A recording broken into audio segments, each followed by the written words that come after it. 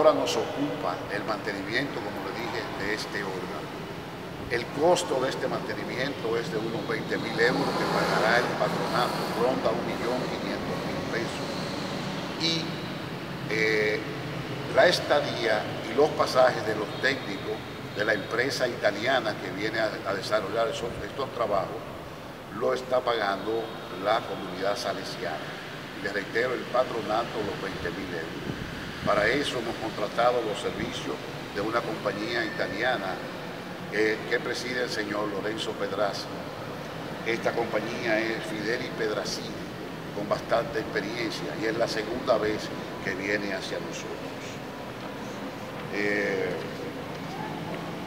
queremos decirle que el patronato es una institución sin fines de lucro que debe dar, debe dar cuentas no solo a la comunidad y a, todo el pueblo mocano, tiene que dar cuentas de los recursos que nos llegan del Estado Dominicano a través de la Secretaría del Ministerio de Cultura.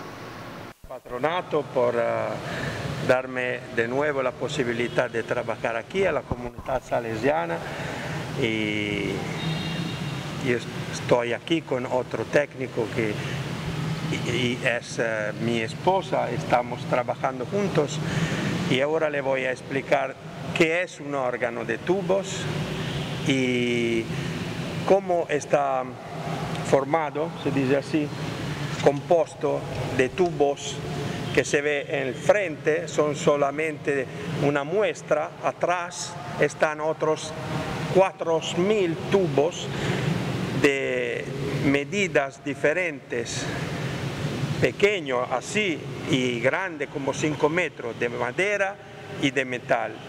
Nosotros vamos a quitarlos todos y vamos a limpiar todos, a desinfectar toda la madera.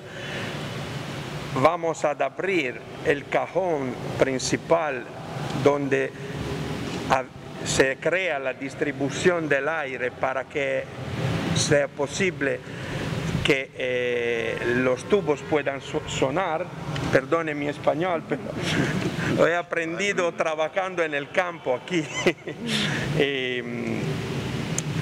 nosotros vamos a hacer esta cosa, vamos a quitar todos, vamos a limpiar, desinfectar y cuando todo está listo vamos a remontar los materiales desmontados y vamos a afinar los tubos. Son 4.000 tubos que deben sonar perfectamente juntos en armonía para que se oiga una sonoridad celestial.